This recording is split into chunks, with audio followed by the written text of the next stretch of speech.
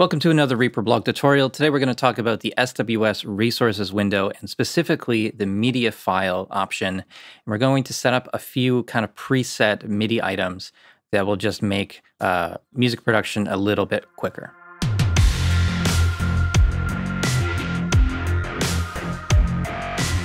So the SWS extension is a great addition to Reaper. It adds so many features.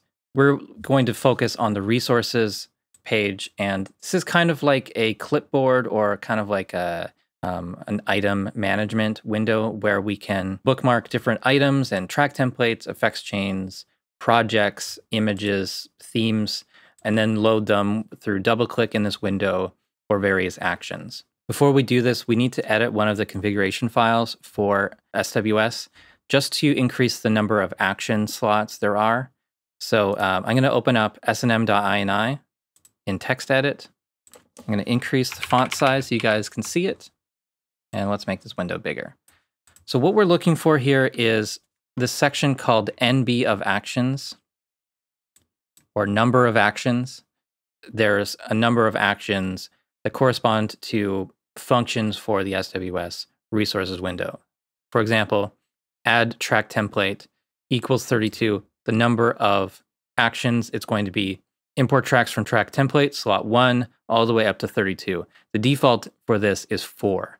So on yours, you're probably going to have only four slots available from the action list. You can have as many slots as you want within the resources window, but the number of actions will be defaulted to four. So just make sure that you're editing this file to increase the number, and you're doing this with the Reaper closed. So Reaper can't be running when you're editing this add media item to current track slot N, and I'm just making sure that this is a higher number than four. So once you edit, hit save, quit this app, and open up Reaper. So with the SWS resources window and under media item, we can have as many slots as we want. And now in the action list, if I search the action list for resources media, we'll have actions like add media file to current track slot one, add media file to new track, slots 1 through 32, and add media file to selected items as takes, slots 1 through 32. So my plan for this is to use the SWS resources window to load a few preset MIDI items that just have drum patterns built in. Um, probably just going to be like one note um, in, in a particular pattern. And then I'll use that with a sampler to choose the sounds and things like that. So yeah, let's give that a shot. So I'm just going to make this a single bar MIDI item. These are going to be drum patterns. So let's go into uh, diamond mode here. And we'll set up some, some MIDI notes. Let's do highest velocity and then let's do quarter notes. Just, yeah. So we've got 127, 100 for the rest of them. I'm going to export this as a new MIDI file. And this will go into, I guess I'll put it into my sample library folder, MIDI files, and uh, yeah, let's make a new folder here. So call this default MIDI patterns, I guess. And so this will be kick quarters, I guess. Let's see what that looks like adding a file to the slot. So I'm going to right click, load slot slash file and grab that kick quarter and open. And so we've got that file there. I'm going to put my cursor here. If I double click, it's going to add to current track based on this uh, setting at the bottom here. Double click the slot, it adds in that MIDI item. And let's move on to a very simple snare pattern. So I'm going to get rid of beats one and three and uh, increase these up to 127 and that's my second MIDI file. So I'm going to export to new file, back to that MIDI pattern folder, and so this will be snare one. Let's do another one that's just got a, like a little accent here um, on the eighth note before the end. And I'll export that again. And just, you know, just think of various drum patterns and things that you are always programming in every song. you know, these are things that you can now just instantly import rather than programming them again and again and again. Let's do another one for hi-hats here. So this will just be um, like a hi-hat pattern on eighth notes. So that's hi-hat one. Let's do another one where these are all same velocity. And we'll do one that is 16th notes,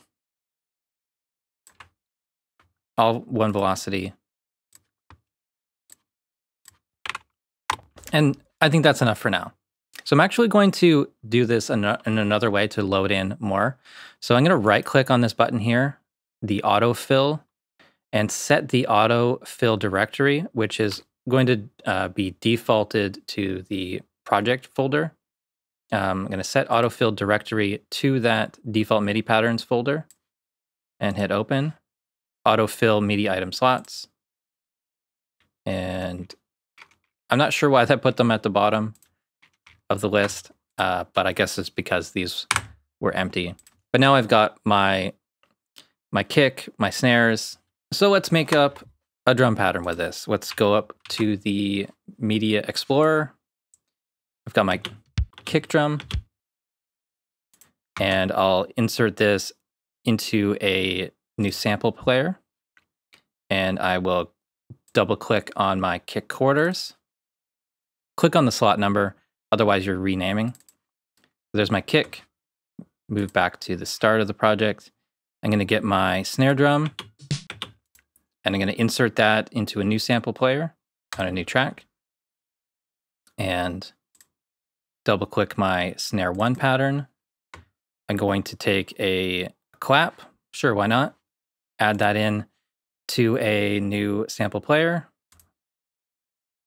Um, bring in my uh, my pattern again, one of the snare patterns. And hi-hat closed, we will insert that into sample player, bring the cursor to the beginning, and uh, we'll add in hi-hat one. So here's what we've got now. That pretty much worked exactly as I had expected.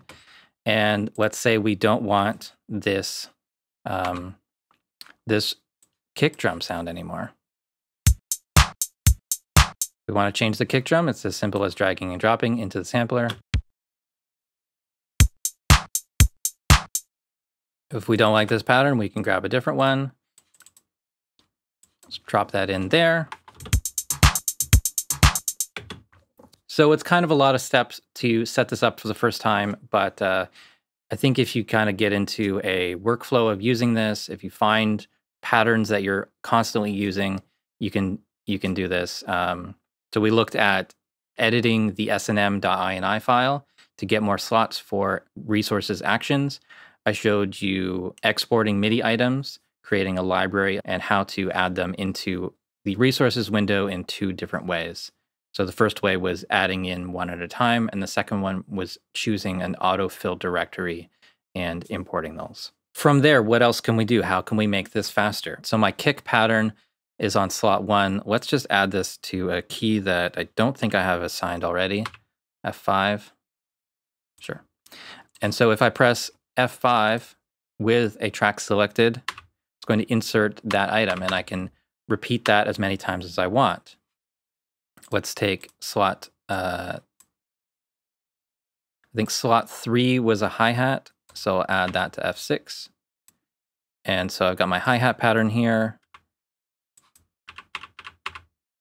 Number six was my snare that I wanted. So slot six, add that to a key, and I've got F7 assigned to slot six.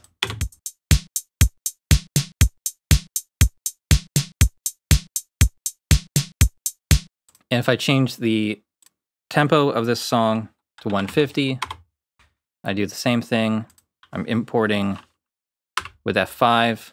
It's automatically increased the speed of that MIDI item. Of course, you don't have to only use MIDI items with this. You can use audio items, you can use video files if you wanted, and um, anything that you can kind of template and save in this resources window, and then figure out shortcuts for using your keyboard, using a Stream Deck, using Web Remote. Um, these are all things that can speed up your workflow. And I'm sure that you can come up with even more creative options. But that's where we're going to leave it for today. Thank you so much for watching. Hope you've enjoyed this tutorial. Hope you found it useful. Please subscribe to the channel if you haven't already. Follow me on Facebook and Twitter. Support the Reaper blog through Patreon and visit reaperblog.net for a lot more tutorials.